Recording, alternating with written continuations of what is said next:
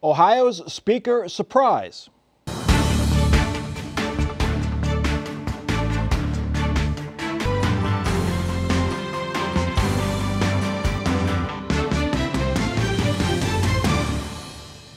Welcome to Columbus on the Record. The drama about choosing a Speaker of the House of Representatives was not limited to Washington this week. It happened here in Columbus, but it only took one vote.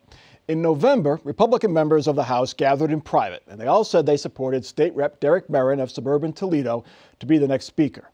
But six weeks later, 22 Republican state reps and all 32 Democrats teamed up to deny Merrin the gavel.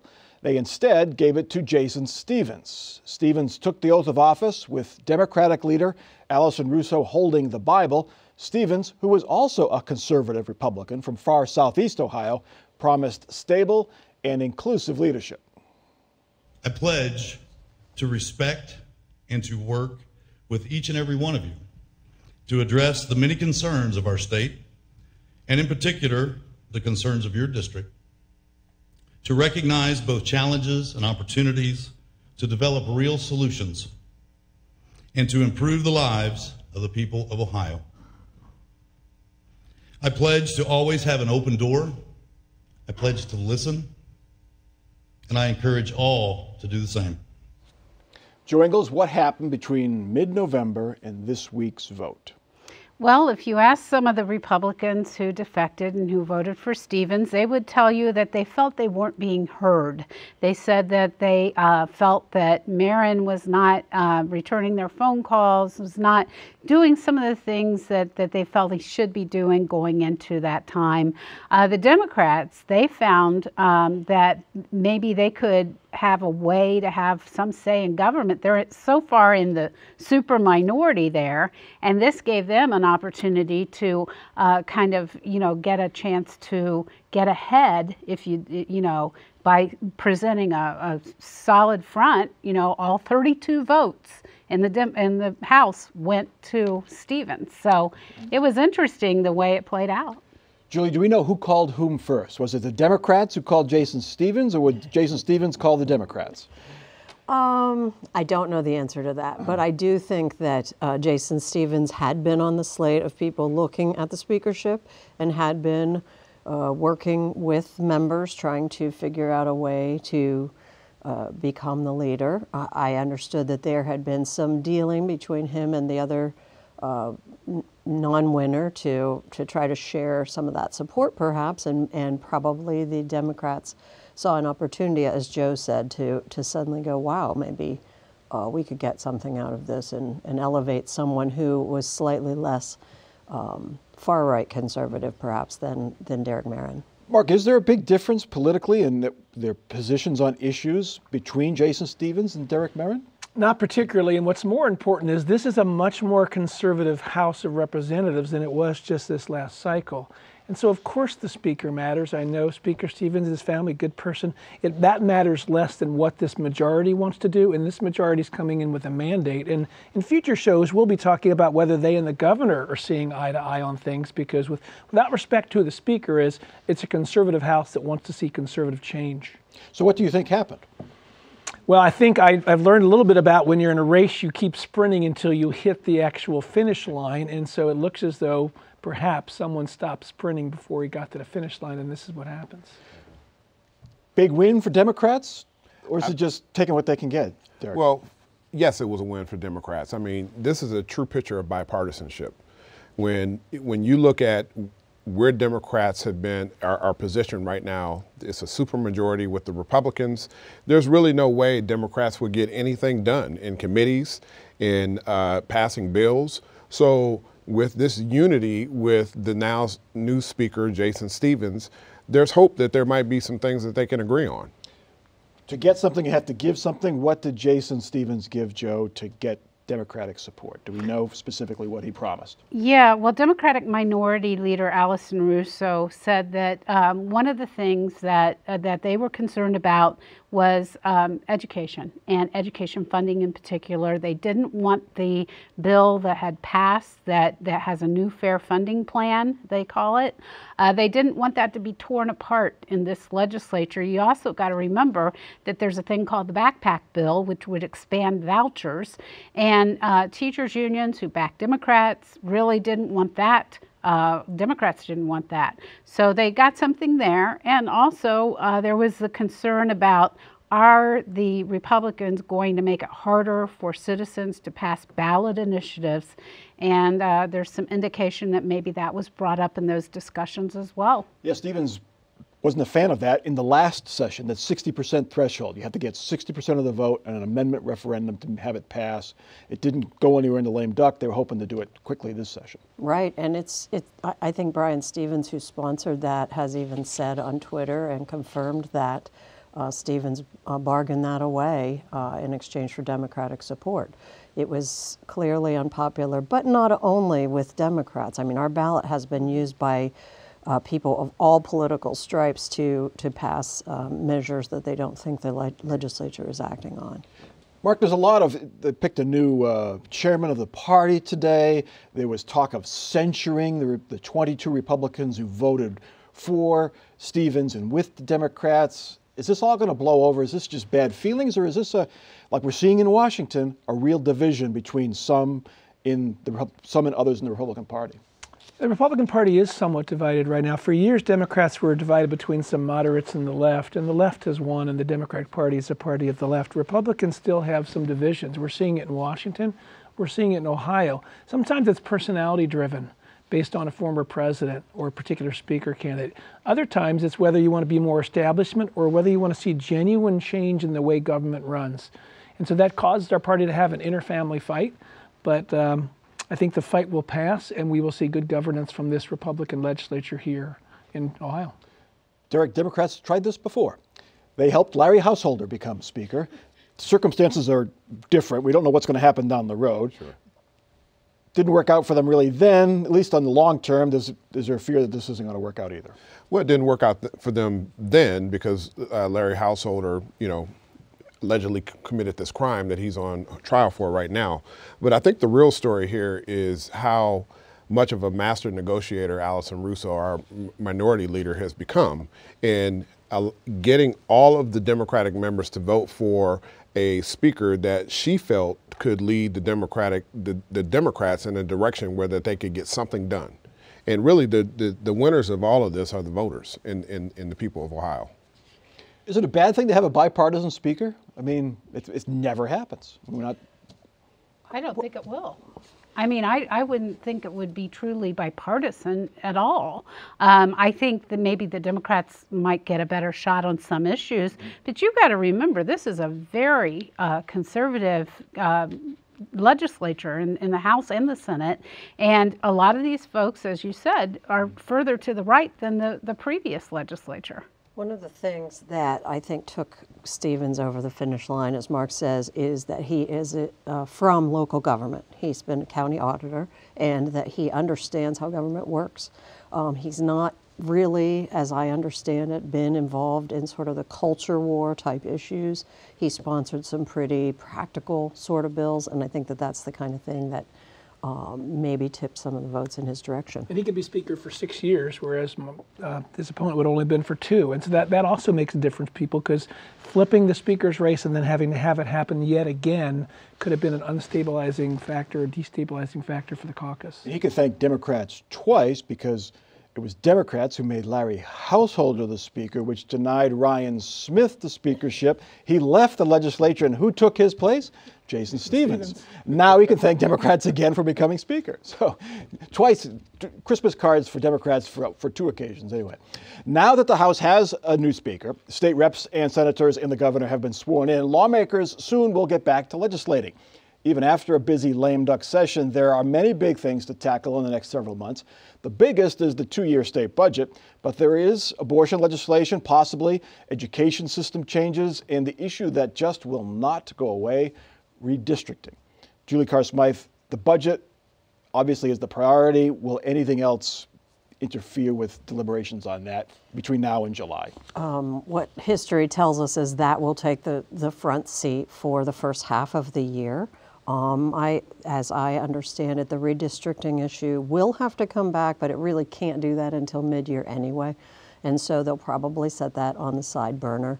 Um, but there are some other things uh, out there. You know, there's some talk about the education piece and what's going to happen with that school funding element. There is uh, a push to fix, if you will, our, our abortion, the functioning of our abortion near ban uh, in ways that might perhaps uh, address some of the issues that came about when it was in effect for that short time uh, and, and raise so many questions. So I think that people want to address that as well. Jo, was there a hope that some of these bills could be addressed, the 60% threshold for amendment changes? There was, there was a hope this would, these would be addressed before the budget season begins, like in February. Well, there's no one saying they're not going to be, but you've got to remember what else is going on. It's not just all about the legislation here. There's going to be things going on. We have a trial coming up that I think all four of us, five of us, are going to be real interested in watching. That's going to take some air out of the room. It's the Larry You've- Householder The trial Larry Householder trial, Yep. and, and that's going to be going on. We're also going to have a lot of things at state government level that we're dealing with as far as how to deal with um, the, you know, money uh, uh, it- with the budget, the money plans that you put in place. You know, the governor is saying he, he has some big ideas for mental health, behavioral health, those kind of things. So there's going to be that. We're also dealing with uh, new people in the governor's cabinet. Um, there's a lot going on. Mark, how big a tax cut and where will the tax cut come in the budget? Because we know there's one coming. It's, they never miss a chance to, to cut the taxes when the Republicans are in charge at any budget year. So where does it come? Income tax? We can only hope that the people will be allowed to keep more of their money, right? Uh, listen, I think what we'll see is Governor DeWine now has his legacy on the line, and so we're going to see this governor stepping up with some pretty bold ideas. He's always wanted to be governor. Now he's got his eight years, and he's going to be doing some interesting stuff. And so it may include uh, tax cuts and letting people keep more of their money, but I also think you're going to see him boldly acting in the areas he's always cared about. so give, me a, give us an example. Well, he's, he's always been concerned about child welfare, so I think you're going to see him leaning into that. He's always been a, a strong voice for a reasonable approach on guns, on the red flag thing. He's going to revisit that again. Now, he's, he's a strong Second Amendment advocate, but there are some ways that he can reach out with the legislature and make some changes in the areas of guns. I think he'll do that now as well. Derrick, in the last year and a half, maybe two years after the initial COVID response, the legislature pretty much tied the governor's hands. Do you see the governor taking that more forceful role? And will he be successful with this legislature? Again, as, as, as Mark indicated, he just got reelected. He has four years and he's not coming back to the governor's office, right? So he will be in a position where he can make some bold moves. And, um, you know, I, I think his veto pen is always ready to go if, if, there's, if there's issues that the legislature puts out there that's just not in line with his values.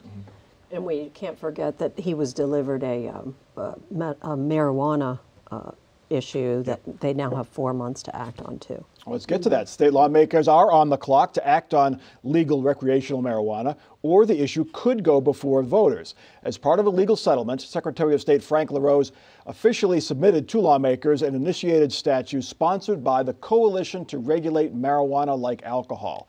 It would legalize social marijuana for people over the age of 21. Lawmakers have until early May to approve the proposed law as is, or the group promises to collect more signatures. If they do, legal marijuana for fun would go before voters in November. Mark Weaver, Senate President Huffman says he doesn't want any part of this. Is this destined for the ballot? It may well be go to the ballot, but let's remember the, this. The last time we had a major challenge of getting signatures and petitions done was the House Bill 6 debacle. Mm-hmm. And we saw so many fights about signatures and blockers and counter blockers and hiring away petition gatherers. You could see that happen here as well. Now, I don't know if there's money lined up on both sides the way there was with House Bill 6, but we have not yet had a ballot issue put on the ballot statewide since that House Bill 6 attempt. And largely it's because it's so difficult to get good, valid signatures. My guess is marijuana growers, Julie, marijuana retailers, they have cash, out of state cash, perhaps they'll be able to get the money to at least collect the signatures, you think? I would think so. Um, and it, it is interesting what Mark says about House Bill 6 because some of the pushback on, on that was obviously tangled up in the householder uh, uh, mess, I guess, and, and uh, we've found now that some of that interference was uh, illegal, basically. And so I think that it is still very hard to get on our ballot, though, and uh, who knows, uh, but I believe that it I mean, there's some incentive for lawmakers to act on it themselves because they because they can then control sort of what's in state law. Yeah, that's what happened last time, Jo, with the yeah. medical marijuana. There was talk of going to the ballot, and state mm-hmm. lawmakers said, "Hold on, we see it's going to pass. Let's do it our way." And they passed a legal medical marijuana bill. They want to change that now, make it looser. But do you ever see them going? This legislature going to make pot basically legal in all cases? No. I don't. But I see them kind of going that direction where they could set an avenue, just like they did with the medical marijuana. They could set, they could come up with the plan that would set an avenue to allow that, and it would be um, specific. It would be in a way that they still have control over some of it. Um, having what Cal, you know, California or Colorado or some of the other states that have legal marijuana, are we going to see it done the same way? Oh no, I don't think the, the Ohio lawmakers would go for that, but I think they would try to do enough that they could keep it off the ballot. So that will be the sweet spot. The world has not ended in the state of Michigan. It's been legal there for some time, marijuana, several states, Massachusetts, California, many states. Yes. And it's it's been Colorado, well, the world, it's hasn't, coming, the world hasn't ended, but there are higher usages now of children getting access, particularly to the edibles and mm overdoses. The THC level in the marijuana is much higher than it was years ago. So the world hasn't ended, but addiction rates have increased, and law enforcement is very worried about uh, what taking what is essentially a gateway drug and making it available to everybody, including children. Marijuana has been here forever. Uh, people want it. I'm not. I'm not personally advocating for it, but people want it and the will of the people will prevail if, if this gets on the ballot. And as you said, several states have already passed it. Um, and if the state can control it, then I think that that's better off for everybody. 10% is going to be the tax on this, correct, Julie? And this is this seems to be a smart campaign right off the bat. Regulate marijuana like alcohol. We've had alcohol regulations for years. Don't, we don't know about state minimum pricing though on marijuana, if that's going to be part of it or not. But it's a pretty simple. There's no monopoly. There's no. It's going to be make it like beer. Right. I mean, that's. I mean, that would be their best argument, as you say. But uh, as Jo points out, I mean, the political climate isn't such that they want to be doing that. At the same time, there's an awful lot of political cover for people all the way across the political spectrum to pass this. It's it's changed nationally. It's not what it once was uh, in terms of uh, it's being seen as more some sort of balance between the social ills of usage and, and the social costs of things like incarcerating nonviolent offenders and things like that. There is a, there is a medical marijuana change proposal that would loosen, make it basically you could use medical marijuana for anything that could be helped by medical marijuana. That's pretty broad. Is this an attempt, Jo, to, to sort of thwart this effort? That might be the vehicle they use to do this. I, I mean, they, they really, the Ohio lawmakers, they, they've been very clear that they don't like the idea of uh, marijuana legalizing marijuana for everyone, but they, they do like um, the medical marijuana enough that they would be willing to relax it. I think the thing we have to remember, though, is Ohio is in the middle of a bunch of states that allow marijuana. So, uh, you know, we're not sitting here on an island all by them, ourselves, and, and people are going to other states to uh, get marijuana and bring it back illegally. And but that does cut into the amount of money Ohio could mm-hmm. make. So there's there's some sweet spot there to find. And, and the problem that you have right now, we already have a workforce issue. But I've heard from some from, from some employers that they can't get people to come and work for them because they they don't allow marijuana. So if you if you already have this problem, at least put some safeguards in place where you can regulate it and you can make some rules around it so that so that uh, folks understand what the what the rules are and it's clear. This is like the gambling debate all over again, right, Mark? We started with casinos, then we went to racinos. Now, as of January 1st, we can bet on our phones. Yes, it, it, does seem like a slippery slope. And what's interesting in this case is they took a finding from a poll where people wanted to regulate marijuana like alcohol and named their committee that which is one of the more common uses of taking one of your persuasion points and making it the name of your campaign in hopes that people on friendly uh, outlets will actually use that phrase where people will go, well, why shouldn't we? They're just exactly the same. There's no difference at all. And so they've achieved their goal. All right, let's get to our last topic. The selective adherence to Ohio's home rule requirement continued this week. This time, home rule won. Governor DeWine vetoed a bill that would have prevented local governments from banning sales of flavored tobacco and flavored vaping products. The city of Columbus recently banned those sales. Supporters of the ban on bans say such rules should be made statewide. Governor DeWine said flavored tobacco products entice young people to smoke, and he said he would support a statewide ban.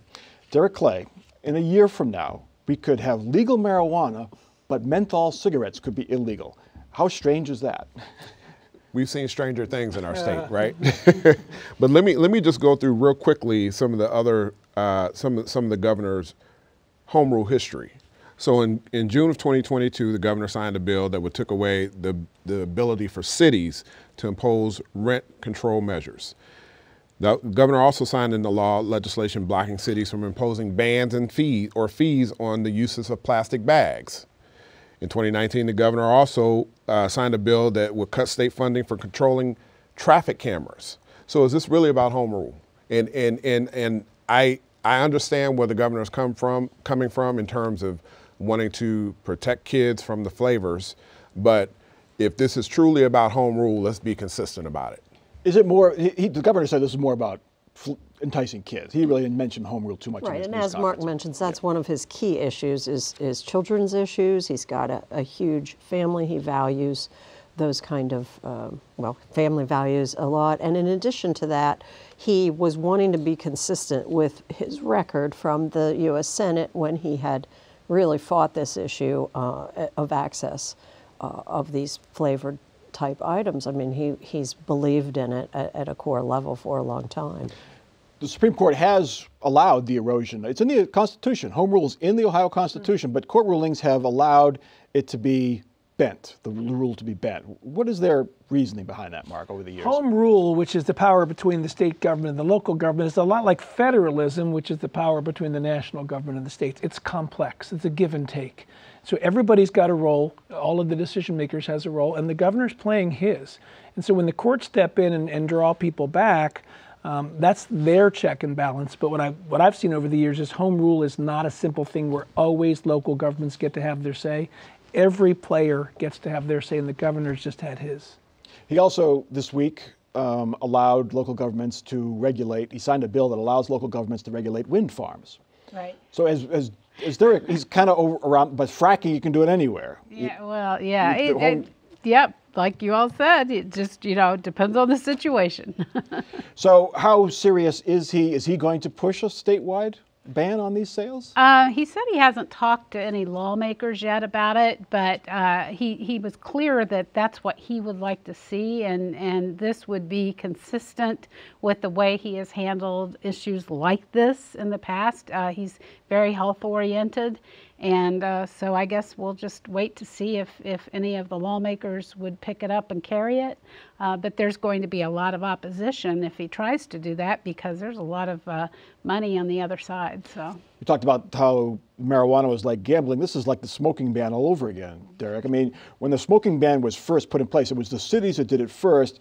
And then if you look at the city of Columbus map, you could be you, you could smoke in one restaurant, but if you cross the street, you're in a township. Right and you, or the other way around, you could smoke in a Columbus restaurant, go across the street, and you couldn't smoke in Clinton Township's restaurant. Right. Is a statewide ban to solve that problem? Yeah, statewide ban would essentially solve that problem. Uh, but again, to you know, to Jo's point, you know, there's a lot of money on the line here. We're talking about tax revenue. Uh, we're talking about you know retail sales of, of those of those types of products. So it will definitely be a fight if the legislature tries to you know to over, override that veto. Yeah. You know, you see a statewide ban, Mark, with this legislature? No, they have the other priorities to do, and then the budget will hit, and that will that will take over everything. All right, let's get to our final off-the-record parting shots, and Mark Weaver, up first. We saw a story last week where some states are so generous with their public welfare benefits that some families make as much as $120,000 a year. It's ironic that some politicians have worked so hard so their constituents won't have to work at all. People want a safety net, not a hammock with Bluetooth speakers. Okay. Derrick. Uh, sad day, January 6th. You know, just want to uh, commemorate those that lost their lives in the in the insurrection, and uh, happy to announce. Well, everybody knows that Damar Hamlin is, is seems to be okay, so we're happy about that. Absolutely, Julie.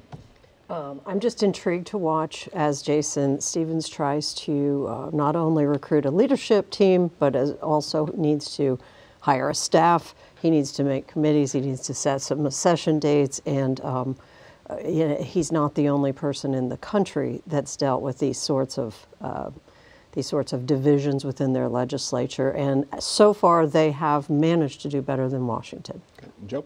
One of the things I noticed this week, and it kind of goes back to what Derrick said, but you know, when Derek came, when when this whole thing happened, um, you know, the whole nation seemed to get behind him, including the other team, and it was a moment of unity. And it comes on a week when we've had so much, you know, everyone's at each other's throats in the state house or, or you know nationally.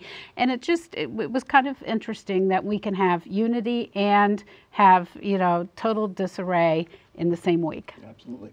Uh, my off the record comment Wednesday, WOSU and the Columbus Metropolitan Club continue our series called Democracy in Crisis.